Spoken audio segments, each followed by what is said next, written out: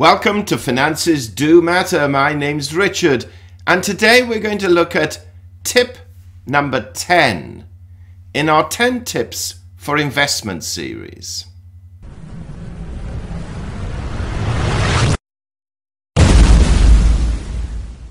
Yes, at the start of this series, our very first tip was essentially to establish a plan. And now we've come to the end of the series, it should not be too much of a surprise if the final tip is stick to that plan. Now, what do I mean by that? And please, it's important that no one confuses what I'm about to say, because there is an argument that you should change the plan under certain circumstances. But broadly speaking, the danger when you start an investment of any kind, and particularly in the early stages, is to keep looking at that investment. Have you ever bought a cryptocurrency or an equity share or even a fund or even property? And then for the next day, week, month, and sometimes even a year. I found that with cryptocurrencies for sure. You're looking at the price every day and you're seeing how well it's performed. And the danger with doing that, quite frankly, is if it's going up, you get very excited and you're tempted to put in even more money. And if it's going down, you become fearful and you think, I might have made a mistake. I'd better pull my money out. Whereas any investment advisor, and this isn't investment advice, but it's a tip, any investment advisor will tell you that when you invest, you should do for the long term. So it doesn't really matter if you've got the long term in mind, whatever's happening to interest rate. It doesn't matter what's happening to inflation. It doesn't even matter really what's happening to prices such as equities, such as bonds, such as cryptocurrencies, such as property, such as precious metals. Because if you're investing on a monthly basis over a long period of time, when the prices go down, you're buying more of those assets.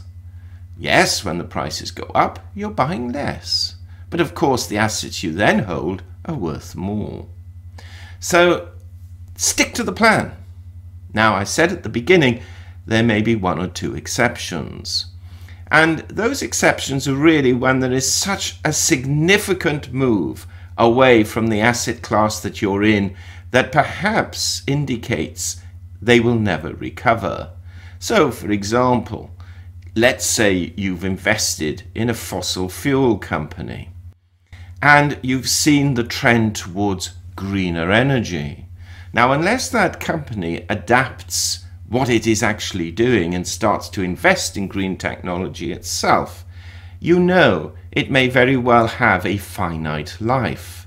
Whether you agree with what's happening with regards to fossil fuels or disagree about its future, there is definitely a trend moving away from it, though it's going to be hard to see the Earth survive without fossil fuels for quite a few years yet.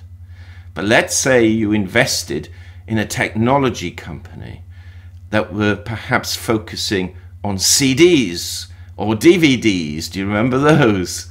Well, today they virtually don't exist. So, yes, you do have to look for those, what I call mega trends away from that asset class. But broadly speaking, if you're investing wisely, you're not putting all of your eggs into one basket and you are spreading your risk across a range of assets. So, over time, almost regardless of what you look at, whether it be precious metals, which generally have not performed phenomenally well, but they've held up well against inflation in the main over the long term. Then you look at things like cryptocurrencies, which have performed extraordinarily well, unless, of course, you invested in them about 18 months ago, and now you could be losing up to 80% or more. Or more commonly investing in equities. Yes, we've seen some major stock market falls over the last 12 months, but do you know what? Your investment is still likely to be higher today than it was 10 years ago.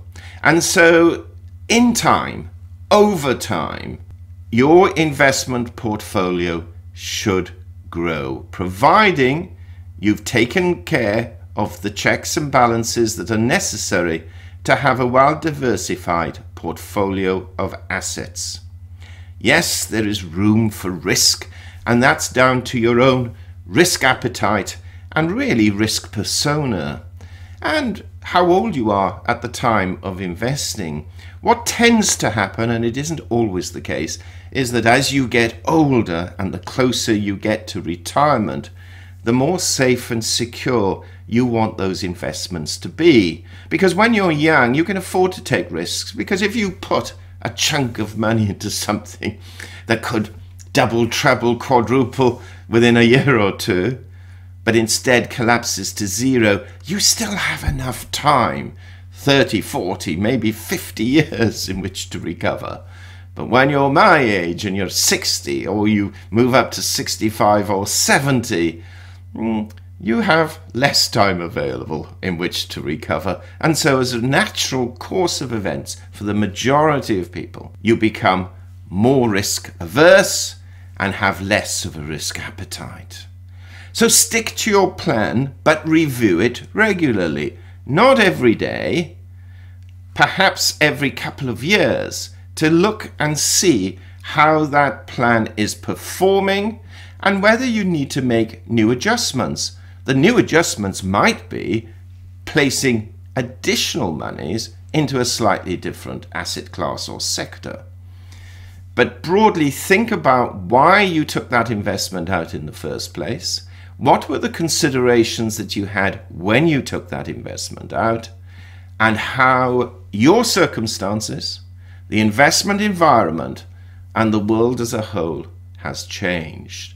But what you should not do is if and providing if you started your investment plan carefully with due diligence and appropriate research, there is no need to keep looking at it day by day or week by week or even month by month. Review it every few years, look at what you have available, look at your own personal financial circumstances, and realize why you took that investment plan out in the first place and don't tend to change your mind unless it's absolutely essential. Well, that's tip number 10. In my next video, I will put all 10 tips into that video, which will be really a repeat of the 10 videos we've produced, but in summary form. But meanwhile, I would ask you please to give this video a thumbs up, to subscribe to the channel if you haven't done so, and to press that important bell sign just in case YouTube doesn't notify you when our next video appears. And until then, safe investing.